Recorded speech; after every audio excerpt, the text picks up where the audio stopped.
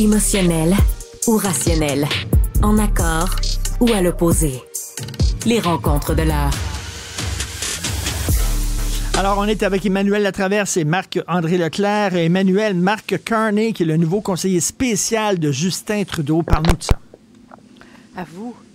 T'as arrêté de respirer, t'es tombé en bas de ta chaise. Tu t'es dit, un monde nouveau est à Vient d'arriver.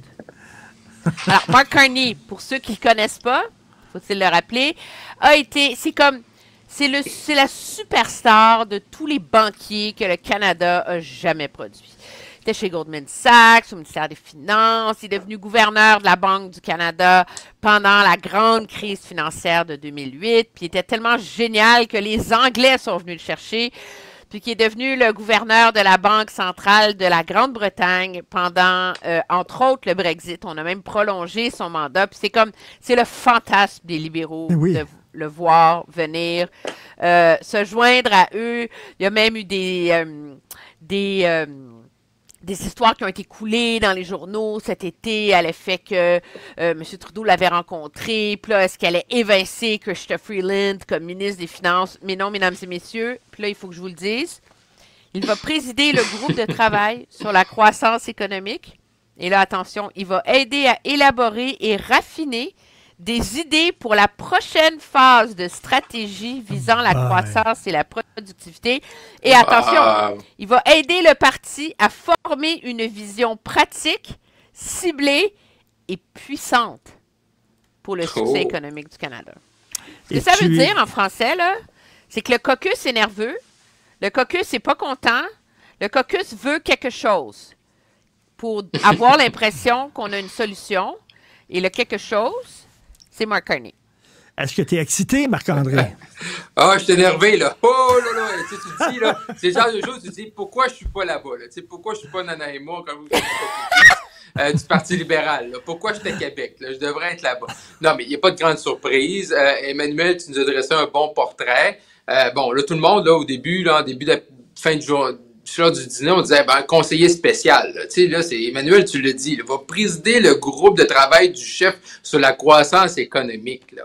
Euh, un autre comité, là, un autre comité à Ottawa, là, M. Trudeau, il en fait beaucoup depuis, euh, depuis qu'il est arrivé, depuis 2015.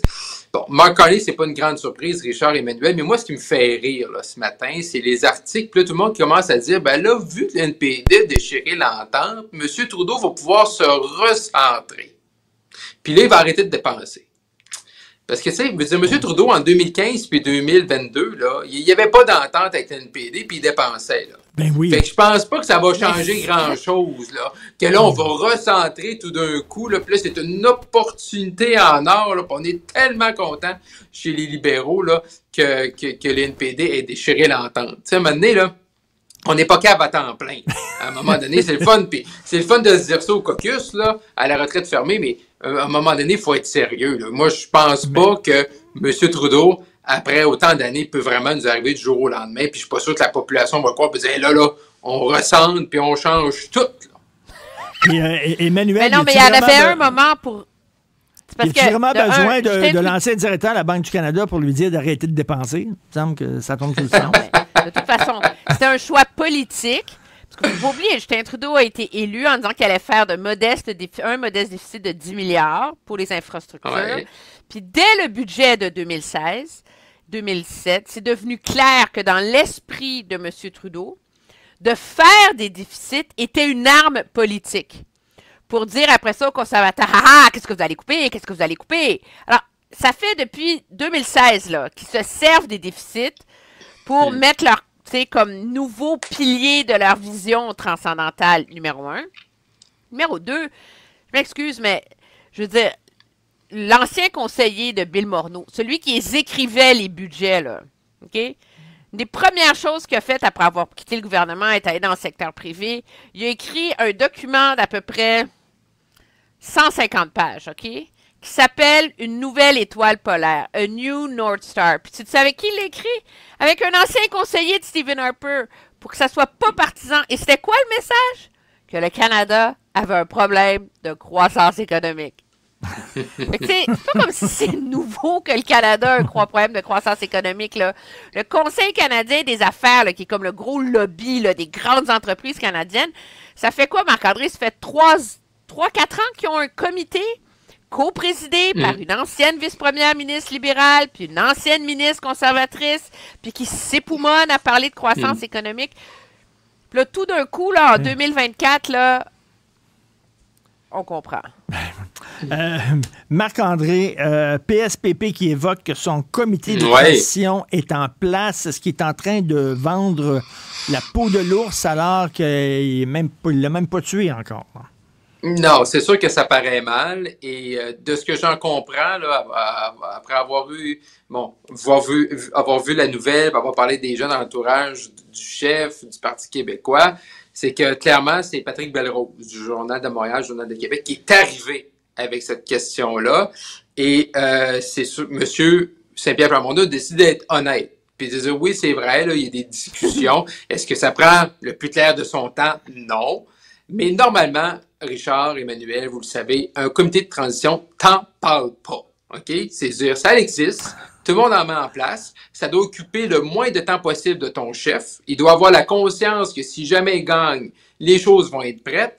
Mais tu dois pas, euh, une fois de temps en temps, mais tu dois pas au quotidien, tu dois gagner. Tu dois gagner avant de Ben faire oui. une transition. C'est comme tes transition, il existe juste si tu gagnes. Et c'est sûr que les adversaires du Parti québécois en cette rentrée parlementaire vont s'en servir allègrement. Euh, je comprends, M. Saint-Pierre Plamondon jouer la transparence, mais moi, à sa place, j'aurais fait un petit mensonge blanc en disant ma priorité, c'est de gagner. Qu'est-ce que tu en penses? pu patiner. Je suis d'accord. Il Moi, je pense qu'il y a, il y a- il y a quelque chose de responsable là-dedans. On s'entend, là? Fait depuis 2014 que, le Parti, que le Parti québécois n'a pas été au pouvoir. Puis encore là, il n'a pas été au pouvoir longtemps. C'est une minuscule équipe. Quatre députés sont complètement essoufflés. Je veux dire, à un moment donné, puis si tu veux bâtir, si tu veux te présenter aux Québécois comme étant un gouvernement là en attente, faut que tu sois, faut que tu aies des gens autour de toi qui t'aident à penser à ce que ça ferait un gouvernement. Puis comment tu l'organises? Puis c'est quoi les alternatives? Puis ça fait partie de la réflexion de bâtir une, un programme électoral crédible. Ça fait partie de la réflexion de dire qui on peut mettre dans ce gouvernement-là, qu'est-ce qu'on fait. Donc, c'est pas arrogant, tout ce travail de coulisses-là, tout ce travail de réflexion-là. Hmm. Ce qui est arrogant, c'est à partir du moment où c'est plus un secret. Ben oui. Puis je comprends que Paul Saint-Pierre Plamondon, il ne ment pas, puis qu'il joue la transparence, puis... Mhm. Mais tu sais, entre mentir, puis dire, oui, c'est vrai que j'ai un comité de transition, tu sais, il y a une petite... Il y a comme une petite zone de patinage, là. Qui aurait, qui aurait été possible et qui aurait pu être navigué avec... Oui. On a perdu un peu Emmanuel, alors on n'a plus le son, mais Marc-André, est-ce que est-ce que euh, ils, font un peu comme les, les démocrates, hein? tu regardes les démocrates puis euh, aux États-Unis, puis on dirait que la, la victoire est acquise. Là. Euh, Ouais. Mais faut pas que tu fasses ça. Justement, c'est pas bon parce qu'à la fin, tu veux motiver tes troupes, Richard. Puis tu veux que tes gens aillent voter. Mais là, s'ils pensent déjà que le chef, peu importe le parti, est déjà en fait sa transition, est déjà en train de mesurer les rideaux du bureau du premier ministre, c'est dans- déjà en, tra- en train de distribuer les limousines, mais le monde va rester à la maison puis vont dire, ben regardez, on va dire, ben regardez, on va rester, on n'a pas besoin d'aller voter. Et c'est ça, je pense. Euh, que du côté du Parti québécois, c'est sûr qu'on n'est pas content. Parce que le même matin, tu en point de presse, s'appelle JND, euh, François Legault, peu importe, Marc Tanguay, tu dis, ben, nous autres, on travaille là-dessus. Pendant ce temps-là, euh, lui, il pense qu'il va remporter les prochaines élections. C'est ça, c'est ça que ça fait mal. Parce que M. Saint-Pierre Plamondon, là, euh, il peut nous, avant de parler de transition, puis je sais que c'était pas lui qui l'a porté directement, on lui a posé la question, mais ça va être qui ces candidats? Tu sais, ils sont pas beaucoup à l'Assemblée nationale, là, mais il y a 125 circonscriptions. Ah, OK. Puis après ça, à partir de ces candidats, on va pouvoir, nous, analyser c'est qui pourrait être les ministres là-dedans. Mais je comprends que c'est une grosse affaire peut-être pour Mais- M. Saint-Pierre Plamondon. Il veut pas juste gouverner pour gouverner. En plus, il veut faire un référendum. Fait que c'est sûr que la transition, pour lui, dans son esprit, doit prendre beaucoup de place présentement. Mais il est mieux de garder ça très secret Et- et- et, de Emmanuel- pas- et d'espérer qu'on oublie ça. là. Et Emmanuel, en terminant, là, le peuple québécois, on le connaît, les Québécois. là, on n'aime pas ça, les gens qui sont trop sûrs d'eux-mêmes, trop confiants. là. On Mm. dit c'est les frais. Ils sont frais. Pensez que ça peut jouer Oui, contre non, mais euh, on PSPP? Puis c'est surtout que ça fait partie de tout le succès de Paul Saint-Pierre Plamondon aussi, d'être le underdog, c'est Ben oui. le, le, le, c'est le parti politique Cendrillon. Alors, il peut pas se mettre à se comporter comme un, comme un, comme un gagnant. Mais moi, comme je te disais tout à l'heure, quand j'ai eu des problèmes de micro, il y a une mise en garde là-dedans pour Paul Saint-Pierre Plamondon. C'est la candeur, c'est génial, puis la transparence, puis je pense vraiment qu'il faut pas y renoncer. Mais ça veut pas dire qu'il faut pas être prudent, puis faire preuve de plus de finesse par moment. Surtout Mm. quand tu es dans la position d'être premier dans les intentions de vote, puis de vraiment aspirer à gouverner. Là. C'est ça. C'est comme si, mettons, nous autres, on disait, là, on ouvrait les ondes en disant on va être numéro un au prochain euh, numériste de radio. Vous allez voir ça, on va être numéro un. On a- on a un peu d'humilité. Merci beaucoup à tout le monde. Bye bye, Richard. Bye. Bye.